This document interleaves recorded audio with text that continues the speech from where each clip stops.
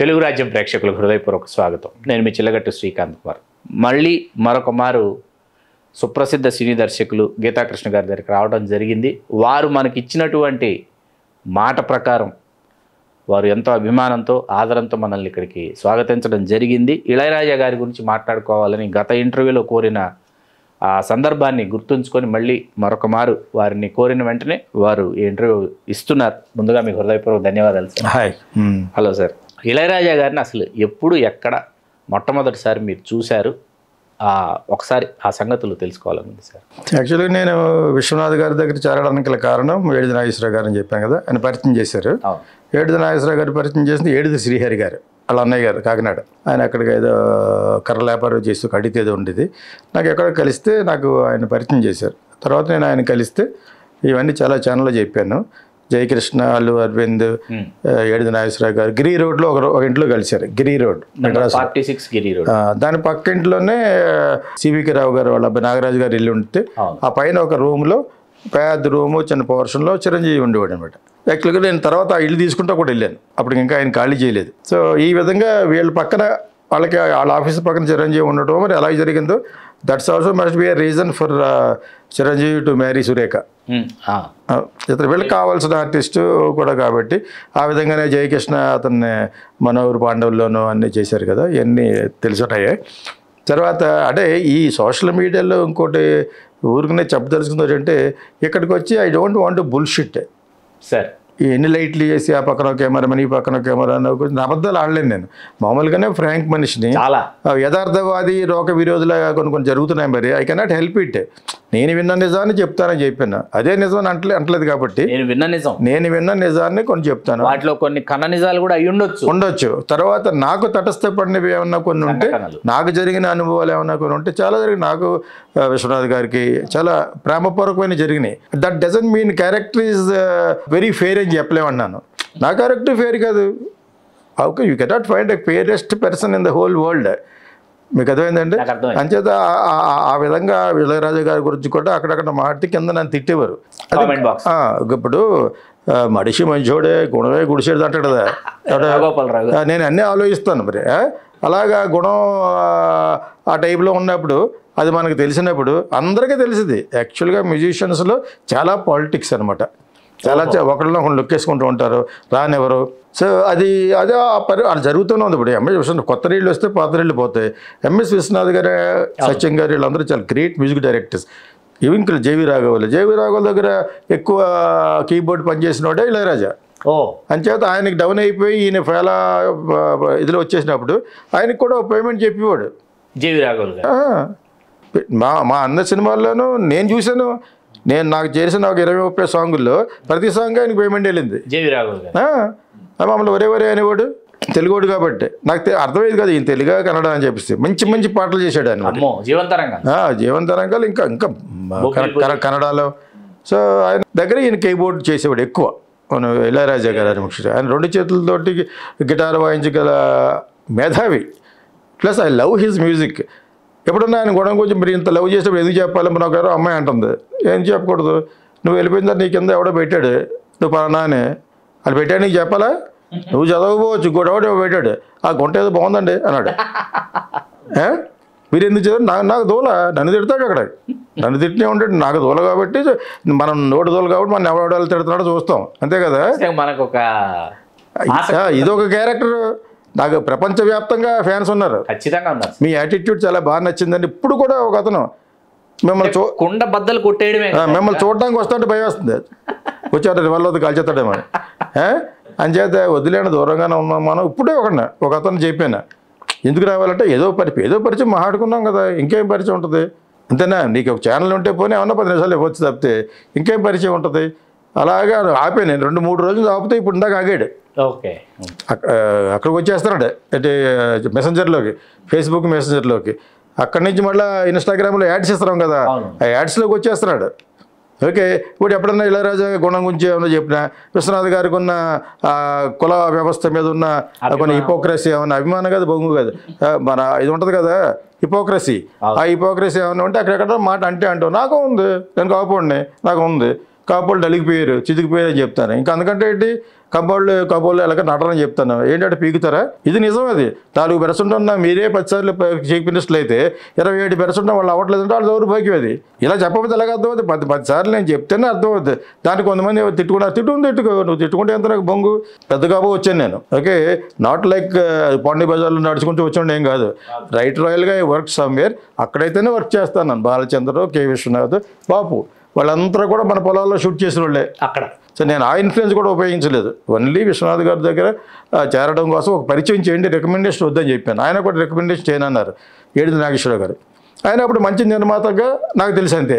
కాకపోతే ఆయన అసలు ఎలాగ వచ్చాడంటే ఒక డబ్బింగ్ ఆర్టిస్ట్ అలాగా ఆర్టిస్టులకు క్లిక్ అవ్వలేదు. ఆయన చేత డబ్బింగ్ ఆర్టిస్ట్గా సెటిల్ అయిపోయి చాలా మిడిల్ క్లాస్ సెటప్ నుంచి వచ్చినవాడు అని చెప్పేసి ఎవరో చెప్తారు అంతే. మరి నేను మట్టుకు పరిచయం నిర్మాతగానే.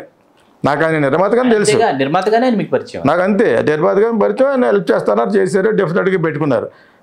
ఆయన ఎక్స్పెక్ట్ చేయలేదు వాళ్ళ ఇంట్లో కూడా ఎక్స్పెక్ట్ చేసి ఉంటారు విశ్వనాథ్ గారు గబుకు ఒప్పుకుంటారని చెప్పేసి. మేబీ ఇప్పుడు ఎవ్రీథింగ్ ఈజ్ ప్రీ డెస్టిన్డ్ అంతే కదా తెలుగులో ఏమన్నా ఆల్రెడీ నిర్ణయించబడింది. ఒకరితో ఒకరు పరిచయాలు అది. దట్ ఈస్ కర్మ. జరగాలని. దట్ ఈస్ కర్మ. అవును. అంటే ఇప్పుడు పరిచయం గొప్పవాడు కదా డెఫినెట్గా గొప్పవాడు నాకు గొప్పవాడు వీక్ కాదు. నాకు చాలా గొప్పవాడు ఆ పరిచయం చేసినవాడు ఓకే ఇది జరగవలసి ఉంది కాబట్టి జరిగింది. ఓ మూడు సినిమాలో మూడున్నర సంవత్సరం పనిచేస్తాను చేసిన తర్వాత డైరెక్టర్ అవుతాను అయ్యాను. అది నా గొప్పతనం కాదు. దట్ ఈస్ ఆల్సో డెస్టినీ మీకు అర్థమైంది ఇప్పుడు? ఏది ఎవరి గొప్పతనం కాదండి ఇక్కడ. కాదు కృషితో నాస్తి దుర్భిక్షం కష్టే ఫలి కష్టపడాలి. ప్రొక్రాస్టినేషన్ అంటారండి ప్రొక్రాస్టినేషన్ అంటే ఇవాళ చేయవలసిన రేపు పోస్ట్ పోన్ చేయకూడదు. ఇది ఒక మన ప్రతి ఇంటర్వ్యూలోనూ ఒకటి రెండు మంచి వెళ్ళాలి. తప్పకుండా. చెదవ సోది మాట్లాడకూడదు ఇలా రాజుతో అనుకోండి చాలా మాడుకో సోది. ఇలా గోక్కున్నాడండి ఇలా అన్నాడు వికారంగా చూసాడండి గి- ఒక వికారిస్ట్ అన్నాను ఎక్కడో ఒకనే. గిటారిస్ట్ లాగా ఒక వికారిస్ట్ అని. మనుషులు అలా చూస్తాడు కాబట్టి ఎలా ఎదుగు చూస్తాడు అన్నది అతనికి తెలియదు ఏమంటే పరిచయం చేశాను. ఎవరో ఒక స్వరణ్ రెడ్డి. అతనికి తెలుగు రాదు కానీ ఆర్కే స్వామి అడ్వర్టైజింగ్లో పనిచేసేవాడు. ఓ. కాపీ రైట్గా నేను పనిచేసేవాడు అనమాట రికేత I want to see Raja జీవితంలో ఒకసారి నా చూడాలంటే టైం సినిమాలో బాగా బ్యూటిఫుల్ సాంగ్ సుజాత పాడుతుంటే తీసుకెళ్ళాను. తీసుకెళ్ళి పరిచయం చేశాను. బాగుంటాడు ఇలా ఇలా పెట్టుకుంటాడు. నుంచున్నాడు అనమాట వెనకాల కన్సోలింగ్ దాని వెనకాల. తర్వాత నిరంపిరిత పాత్తే అని మంచి సాంగ్. జీవితం మనోహరం అని తెలుగులో ఉంటుంది టైంలో. పియానో సాంగ్ అనమాట అది జరుగుతుంది. అది నా ఫేవరెట్ సాంగ్ అది.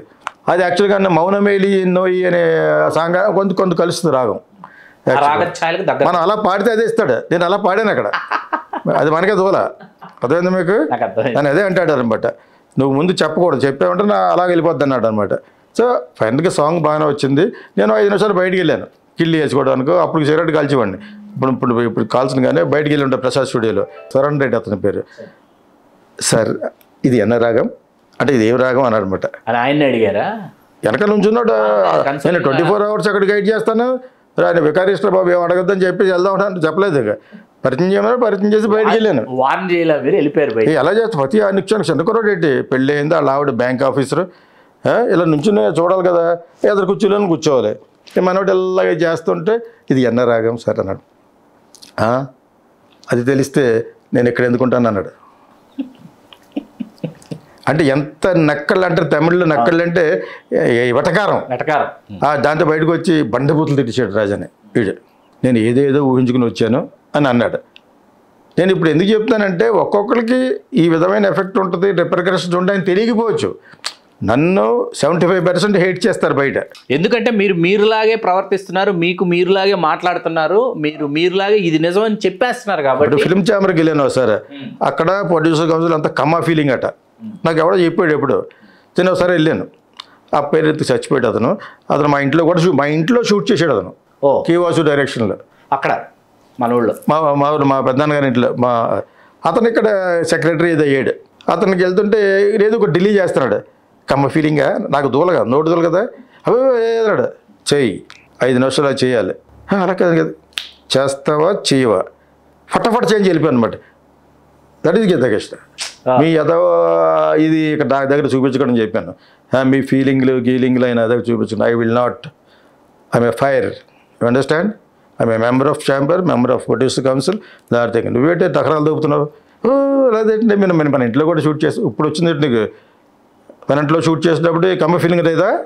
ఐఎమ్ ఏ గ్రేట్ కాప్ చెయ్యి. ఆ చేంజ్కి వెళ్ళిపోయాను. దిస్ ఈజ్ గీతా కృష్ణ అంతే. అంతేగాని వాడేదో భయపడతాడు ఈడేవాడో భయపడి ఏటి భయపెట్టి తొక్క తొక్కలగాళ్ళు నేను వాళ్ళకే భయపడను కాపులకు భయపడను రెడ్డికి భయపడ్డాను I'm I'm that I don't have a caste feeling. I married Brahmin Tamil బ్రాహ్మణికలు ఎన్ని పక్కన పెట్టి నేను బ్రాహ్మణులు తిడతాను. మీ ప్రేమ వివాహమా? ప్రేమ వివాహం she highly educate not from film industry film ఇండస్ట్రీలో చేసుకుంటా వస్తే చేసుకోలేదు.